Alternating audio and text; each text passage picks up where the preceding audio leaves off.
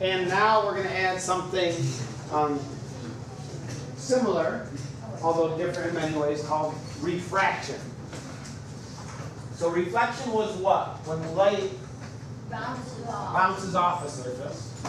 Refraction is when light travels through a surface okay, and bends in certain predictable ways. So refraction is the bending of light rays as they pass from one medium or one material to another.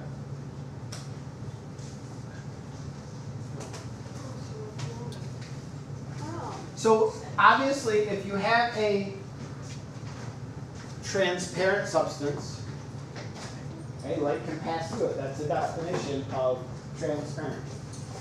But when light does that, and it goes from either uh, two, from one material to another that have different densities, the light ray actually bends. Okay. And the way, the direction that it bends is dependent on which substance is more dense. Okay? The medium the light is traveling from or the medium is traveling into. So we call this the law of refraction.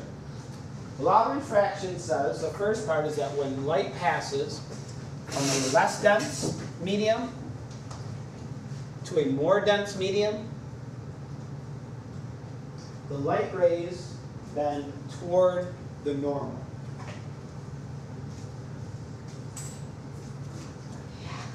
Okay, so we have some ways, a couple mnemonic devices to help you remember this. Okay. So I'll give them to you in a second. But so here we have a light ray. This is the incoming light ray. Now obviously, if air and glass, which is less dense? Air. Obviously is less dense than glass. So this light ray is passing from a less dense material into a more dense material. So rather than just continuing on this straight path, it's going to be bent toward the normal. Okay? So rather than um, going through that, it's going to bend toward the normal. That red line shows the path the light would have taken. The black line shows the refraction of that light ray. Caleb? So is that why, like, when you look at a spoon from above, it looks like a spoon, but when That's you like, exactly- go to eye that's- level, it's That's exactly why. When you look at a spoon in a glass of water, it looks like it's separated, right? Yeah. Looks like where the spoon enters the water, where you see it in the water is actually uh, shifted over a little bit, and that is, that's because of refraction. Maybe with my finger, I feel like. So to help you um, remember, you could remember um, this law, LMT, which stands for loud mouth teacher. Please, if you remember that, please just keep the teacher's name to yourself if you're thinking of a specific individual. Um, but if you remember loud mouth teacher, you can remember when light goes from a less dense substance to a more dense substance, it bends toward the normal. It reminds me of Love Math, Love Math What's that? What'd you say, Lindsay? teacher. It reminds me of me? Yeah. I'm not loud. Well, yeah, well, I'm yeah, not loud. I I'm didn't quite think- soft spoken, I believe. This how you talk, ready? I'm not loud. Is that really? That's how loud I am? I have to be loud so that my whole class can hear me. Mr. That's Mr. I don't need to know names. I don't want to hear any names. All right. You could probably guess what law number two says. Does anyone want to tell me what you think the second law of refraction is? Nicholas? Uh, when light passes from a more dense medium to a less dense medium, dense medium, the light ray bends away from the normal. That's it exactly. Oh. If we have, nice job, light moving from a more dense substance into a less dense substance, rather than continuing on, it's going to bend away from the normal. So what does that mean? Like, if you put a light ring Oh, to the last yeah. like It depends on what light, which way the light is traveling. Yeah, if it travels from um, water into air, it bends in the opposite way. But wait. So, Again. to help you remember the law, you can remember the second law by remembering mom's large ass Troy. Funny. Wait, what was it? becomes large asteroid. I don't care, go back. Go back, I, I don't know why it's not that funny, but You're like, asteroid. Oh, that was funny. um, Go, Mr. D. I'm slightly frozen. Yeah. Asteroid? Yes, asteroid. Oh, okay. Yeah, why is That's it a so go, funny? that's a go one, Mr. D, it's a go one. It had an Aggie word in it. Oh. Oh, now he's calling me something. Asteroid. Oh, yeah, Mom's large. Mom's ass. That's what you said. That's it. That's what the law is. Mom's large ass. No, he said it loud. He's like, Mom's Sorry. large. I was being a loudmouth teacher. So, So he admits to it. I guess I'm frozen. So let's finish this up. Um, there is a third part It's like 18 more to the law of refraction that says if light is entering a medium, Is this acre unit? yes, okay, um, at 90 degrees, it does not refract. So refraction only happens when light is entering a surface at an angle. If light is coming straight in, vertically, perpendicular to the surface, then it doesn't refract. So if it's coming on. Normal. So yes, okay. So when light enters medium at the normal or in the same direction perpendicular to the surface, which is where the normal is, it does not refract. It just continues straight through the surface. What does that mean? Well, wait. There, there's no thing to remember that law? No, because if it's coming in perpendicular, it just goes straight through. Now this, yes, sir. There's a mirror and you see the light and it goes straight through. And we're not talking about a mirror. We're talking about generally, Matt.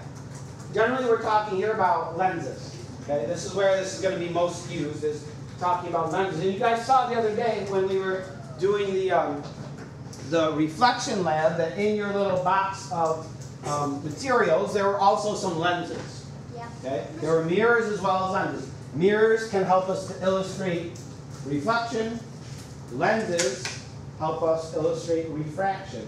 And so when light travels through, yes, we'll do a similar lab with refraction. So when light travels through a lens like this, okay, it's the shape of this lens that's important. Just like it's the shape of the mirror, okay, that's important. So if we look at, this is a convex lens. Again, bent outward. It's thicker in the middle, okay, than it is um, at the ends. Okay. Um, a convex lens, where have you seen a convex lens? Mom's. Sometimes. What else? Contacts? Contacts could be. A magnifying glass. You ever used a magnifying glass? Yeah. That's a convex lens. It's thicker in the middle, and as you go to the edges of the magnifying glass, it gets narrower. A convex lens, such as this, magnifies the image. And it causes light rays to converge. So causes, so as light rays come in, they converge to a central point. What do we call the point where they all meet? Yes, the focal point. Now, a convex lens such as this can create what we call a real and virtual images. What that means is a real image can be projected onto a screen. A virtual image cannot. If we look at this diagram, now I know this is sort of an oval, but it's still thicker at the edges. It should make sense if you think about refraction, why this type of lens converges light. If we imagine these light rays entering this lens, they're all coming parallel. Okay? If we look at this.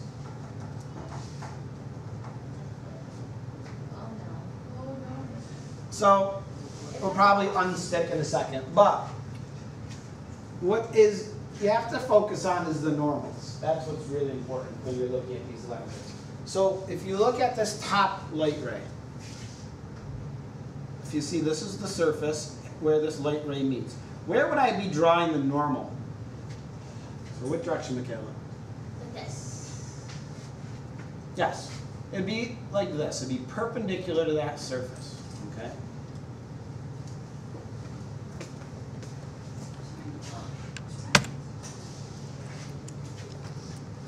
Where would this normal be? Jax? Um, directly on the arrow. Directly on the arrow. It's flat right there. That's right there. And how about this normal? Ryan? Like going up, kind of like. Yeah, it'd be this way. Okay, I guess more shallow. Yes. And because of that, there we go. Okay.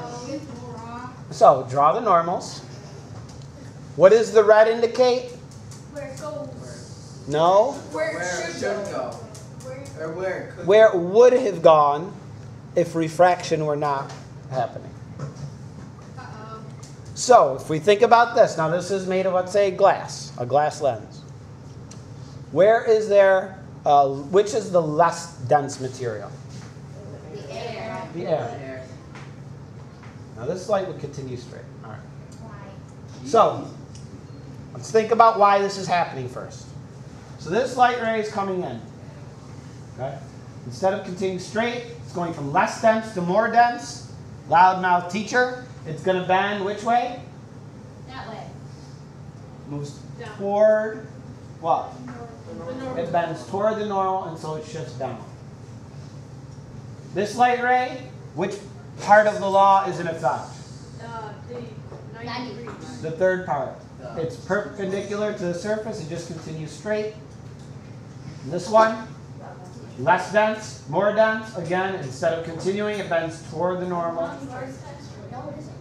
No, it's still less dense to more dense. Right? And so it travels in. Look right. And they all converge at a central point. That is the focal point. If you've ever used, not that I suggest this, if you've ever used a magnifying glass though to burn a leaf, I did that. I looked at a magnifying glass is a convex lens. I thought that was my If you've ever done that, when, if you want to try and burn the leaf, what do you have to do to the light that's being refracted through the lens, Matthew? You have to make sure it's all in one tiny point. You make sure it's as small as possible. Now, what you should know is that where it, how far away is that magnifying glass when you get that tiny point of light that's very, very hot? It's at the focal point. That's what you're doing. You're changing the, where the magnifying glass is in relation to the focal point. When you have it at the focal point now, the sun's rays that are coming into your lens are all being focused on this very, very small area, which obviously leads to it heating up very quickly.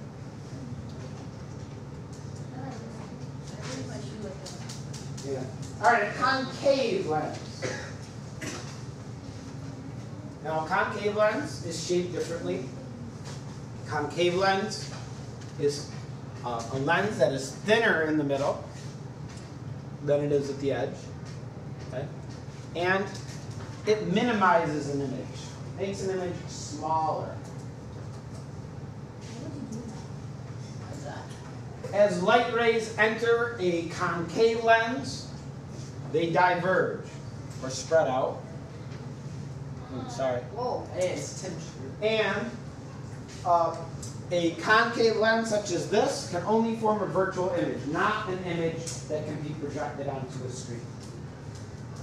So again, the process is the same. As light comes in, okay, instead of continuing straight, it bends toward the normal, which in this case would be drawn in this direction, so it bends up. Here we have a concave lens. Again, the law that's in effect here is still loudmouth teacher. Okay? Less because we're lenses are made of more dense material than the air. Okay? So again, loudmouth teacher, incoming light rays. In this case, where do all the normals point? Um, Um, inward. This way. Oh, yeah. Inward, in front of the uh, lens. Okay? And so instead of continuing straight, all of these light rays should be bending in which direction? Rimshot? Toward the normal. And they do, they bend toward the normal. And they diverge it. Yeah, the middle one, this should be drawn straight. Start here, must have- Wow.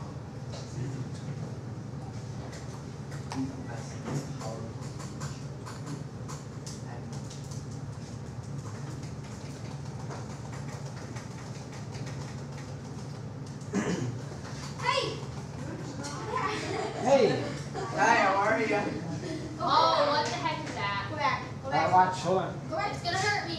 So here you have a laser showing light rays being refracted um, through a, a sphere of Whoa. of glass. I don't get it. It just, you could see the light ray inside of that bending. Oh! Can you play it again? So look, you can see the light ray as Oh, he, yeah. as he moves through. You can see this light ray that's inside.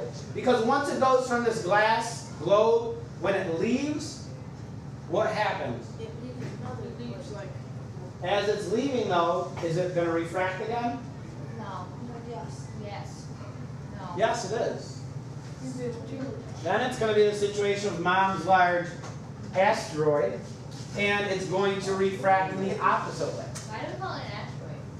No, What do you? It's back, just Mr. asteroid, Ross. That's all I'm talking about, is a big object in the sky, that your mom moves. It's That's still. Mr. Ross, go back or not? I don't Why want, does, why don't, does my mom have an asteroid? I don't know, it's just a saying to help you remember something. Wait.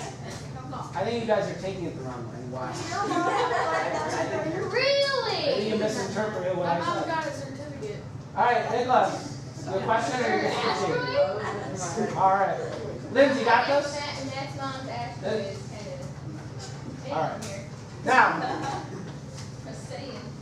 Um, so many of us, myself included, have um, either near or far sightedness. Difficulty seeing images that are close, objects that are close, or objects that are far. And if you look at this diagram here of the eye, okay, light enters our eyeball, okay, through the cornea, the sort of front layer of our eye. The thing that you can Um, and behind that is a lens. Okay? A what type of lens? Uh, concave. Concave, convex. Well, no. Concave. Both. It is a convex lens. I was, I said that. Because the job of this lens is to focus light where? Out. Into the eyes. There, does anyone know the name of the surface that the light is focused on? It's the retina. The retina of your eyes towards the back, okay? And light comes in and focuses on the um, retina of your eye, and when it does, it gives you a clear image. If for some reason that image is out of focus, it means the focal point of your lens is not directing light on the focal point right onto your retina. It may be slightly in front of your retina or slightly behind. We use glasses and contact lenses to change that focal point and to change that light so that it does focus directly on our, excuse me, on our retina. Okay, and that's how glasses and contacts work. Now we may um, have difficulty seeing. Our eye could be too short, so that light gets focused past our retina. Eyeball could be too long, causing light, the focal point to be up here, and then glasses can adjust for that. So if we look at these slides, myopia, nearsightedness is what I have. So you can see pretty well near, but you have difficulty seeing far away. And what happens in this is that um, the eyeball is elongated. So that as light travels through your lens of your eye, it gets focused somewhere up here rather than back here. Okay? So light rays converge in front of the retina. Now, how do you correct this? Okay? You put a lens in front of that eye. Let me go back here. What you see is what kind of lens is being used? Concave. Concave lens. And again, it's making it so that these light rays diverge slightly. So rather than coming to a point right here, they diverge a little bit more, and that changes the focal point to where it should be, right on your retina. The more your prescription has, the more it's curved. And that's why, like me, I have really poor vision, and so my glasses, I wear my glasses like that. They're really thick. Like the edges are really thick because I have such poor vision. Because you need a thicker lens, okay, to make these adjustments. Because you need more bending of that light, so you need a thicker lens. Okay? So that's a concave. Yeah, I have. I always almost wear contacts. Okay, the last one, the other type, hyperopia, farsightedness. Okay, this is when objects um, the le- eye can be too narrow, too short.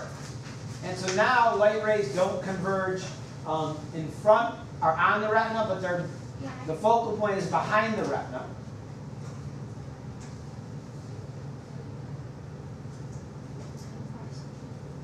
And so how do you think we correct that? By a convex lens in front of the eye, which causes all those light rays to converge at a point that's right on the retina rather than behind it. This would be contact. No, that's uh, a lens in, in glasses. Yes, you said? Can you have like both? What's that? Do you have like both near sight? You could, um, you could, and it's, lots of times you'll have difficulty seeing near and far. What type of glasses would a person having that problem have to wear? Bifocals, it means two focal points. It means part of their glasses, um, will allow them to see far, and the other part allows them to see near, and they just change their vision by looking through different parts of those glasses. Okay. If you have good vision, Oh, well, quick try. Hold on one sec. Then, okay, light rays focus directly